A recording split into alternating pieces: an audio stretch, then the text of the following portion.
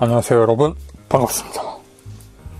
미사키 쿠레히토가 그린 아미코.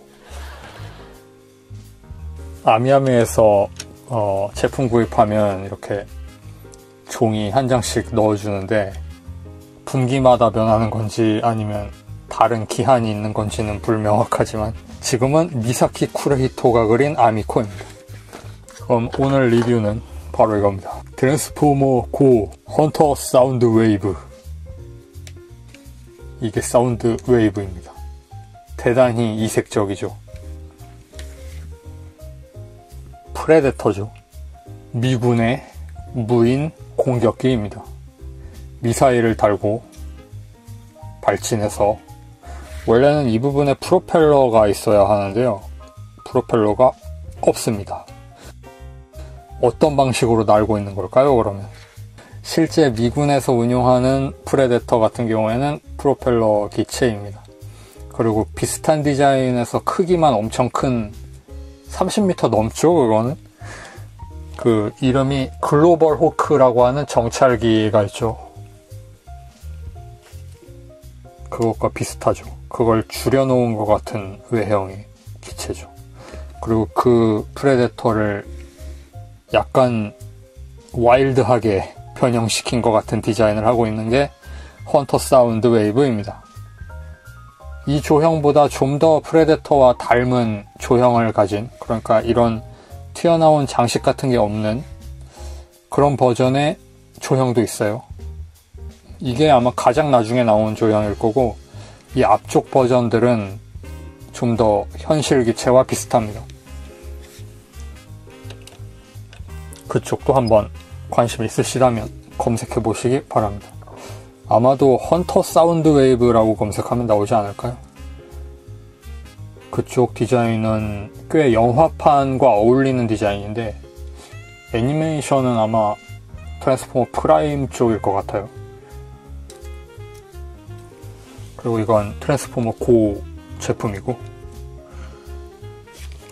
뭐 이렇게 생긴 기체입니다. 비행기처럼 생기기도 하고 새처럼 생기기도 하고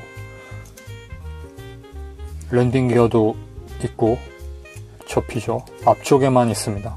뒤쪽은 없고요. 그리고 무기가 하나 들어있는데 이건 설명서에서 이야기하기로는 미사일이라고 합니다. 미사일. 전혀 미사일 같이 안 생겼지만 미사일입니다. 그리고 약간 특이한 의, 의료용 집게 같은 거? 그런 느낌으로 생겨서 mad scientist틱한 이미지를 주고 있는데 기여하고 있습니다.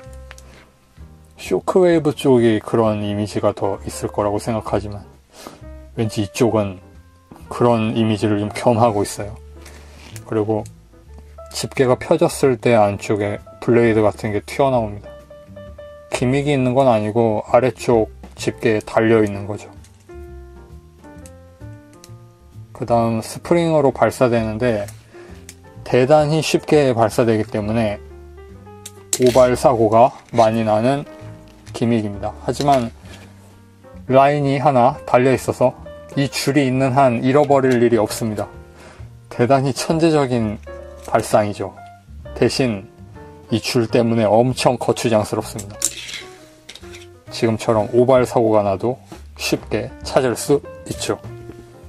근데 멋은 없어요, 이 줄 때문에.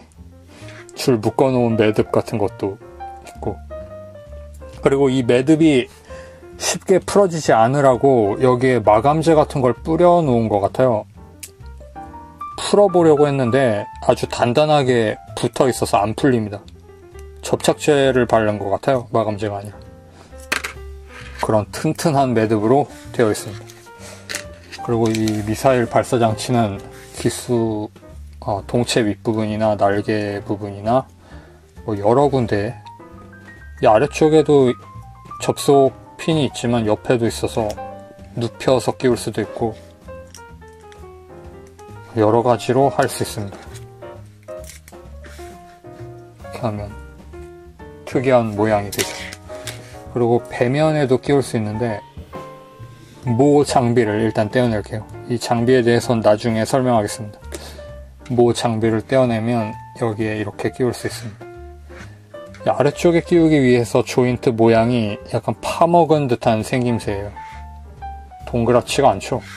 이 구멍이 C형이기 때문에 이런 모양으로 끼우고 이러면 돼지 공격 모드처럼 되기도 하고 새 다리처럼 보이기도 하고 한 개밖에 없어서 이상하지만 돼지 공격 모드 뜬뜬뜬뜬뜬 제트 파워 옵티머스 프라임과 비교를 해볼게요. 이 정도 크기입니다. 디럭스 정도죠. 이것 자체가 디럭스일 거예요. 이 형태도 그렇고 로봇 형태도 그렇고 트랜스포머 영화판과 어울립니다. 이쪽은 애니메이션 쪽 출신이지만 변형하겠습니다. 트랜스포 날개를 뺍니다. 허벅지에 끼워져 있었습니다. 다리를 분리해서 기수 부분을 2단으로 접으면 정돈이 되고 뒤꿈치입니다. 앞다리는 이렇게 앞발이죠. 이렇게 당깁니다. 그러면 발이 됩니다. 그리고 무릎이 이중 관절입니다. 이런 식으로 가동이 됩니다. 약간 꺾어 놓는 게 좋겠지만 이렇게 놓을 수도 있습니다. 무릎 아머 위치가 위쪽에만 달려있기 때문에 조금 특이한 모양으로 접혀요. 다리입니다. 그리고 허리 부분을 이 부분 보이십니까? 약간 꺾을 수 있게 되어 있는데요. 고정이 상당히 약하기 때문에 자연스럽게 꺾입니다. 변형시키다 보면. 그리고 아래쪽에 붙어 있는 판 지지대 같은 걸 위로 올려놓고 여기엔 아까 말씀드렸듯이 비밀이 있어요. 그리고 양쪽 어깨가 되는 부분을 밀착시키면 조형이 딱 맞게 정돈이 되고요. 그리고 고정되어 있던 팔, 팔을 빼고 돌린 다음 이 안쪽에도 고정이 되어 있어요. 여기에 C형 조인트로 이 조인트는 아주 작기 때문에 금방 느슨해질 것 같습니다. 그 다음 팔을 펴고 하지만 이 제품은 2013년에 대한민국에 정식 발매된 제품이거든요. 여태까지 뭐 괜찮은 걸 보면 조인트 수명은 긴 편인 것 같아요. 그리고 어, 관절 전체가 상당히 느슨합니다. 음, 전체적으로 느슨한 편이에요. 그리고 정식 발매되었으니까 지금도 어쩌면 어딘가에 악성 재고로서 남아있을지 모릅니다. 한번 구입해 볼 만한 제품 아닌가 싶어요. 음. 트랜스포머 조형 자체는 그다지 발전을 안 했다고 생각하거든요. 그러니까 예전 제품도 명작은 지금도 충분히 신제품처럼 보일 수 있을 정도로 세련되게 만들어져 있고요. 이 제품처럼. 그런데 크기는 예전 제품들이 크니까 음, 악성재고 트랜스포머도 나름 매력이 있다는 이야기예요. 그리고 등 부분을 당기면 머리가 스프링으로 튀어나옵니다. 이렇게 끼워져 있던 게 이 형태도 무인기 같은 머리 멋있죠. 하지만 진짜 머리는 여기에 있습니다. 튀어나오죠. 그리고 이 스프링 gimmick 때문에 목이 거북목처럼 앞으로 돌출되는데 약간 당겨서 어른스러운 목으로 만들어주는 게 정상이에요.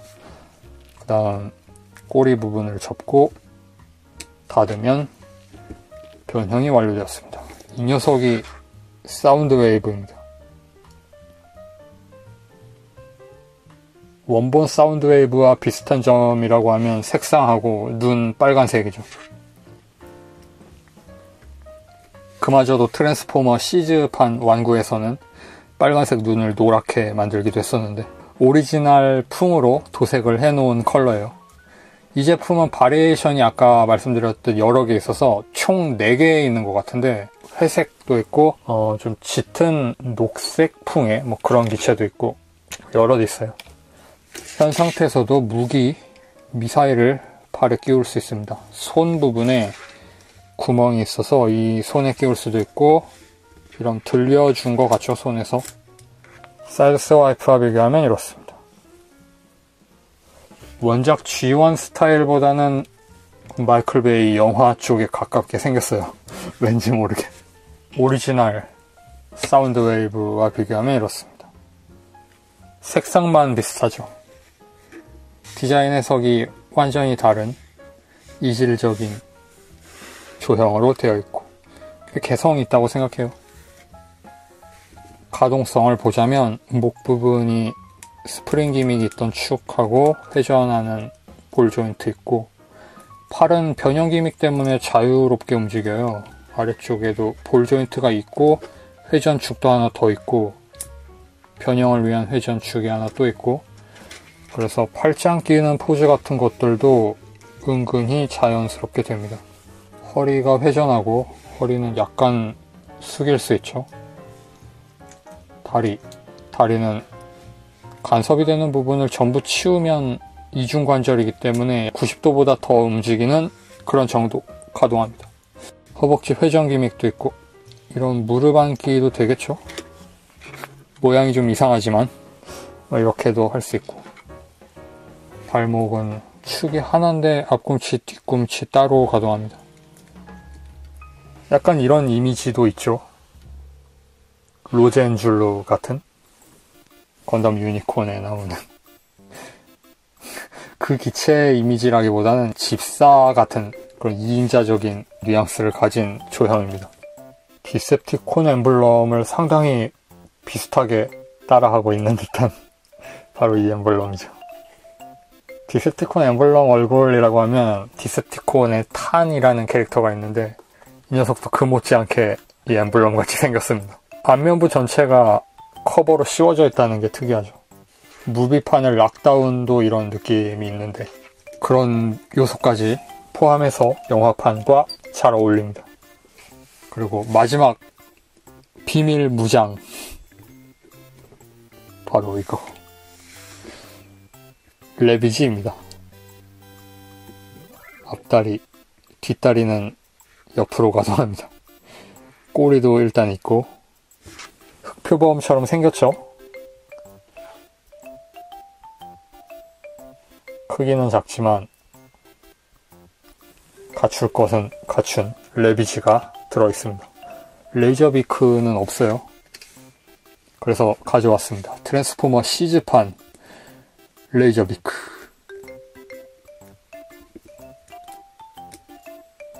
이렇게 변형하는 다리를 펴지 않는 이유는 팔에 올리고 싶어서 여기에 우연치 않게 조인트가 있으니까 끼울 수가 있는 겁니다. 비 오는 날 우산처럼 레이저 비크를 쓸 수도 있습니다. 팔 각도 때문에 다른 자세로는 수평으로 놓지를 못해요. 이 부분에 끼우면 회전 gimmick을 써서 수평으로 올려놓을 수 있죠. 좀 무거워요.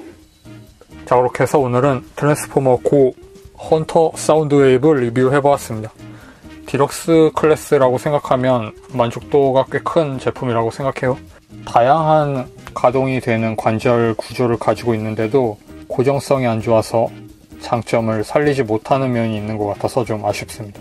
그래도 전체적인 완성도를 놓고 보았을 때 마음에 드는 제품입니다. 시청해주셔서 감사하고 다음 영상에서 뵙겠습니다. 바이.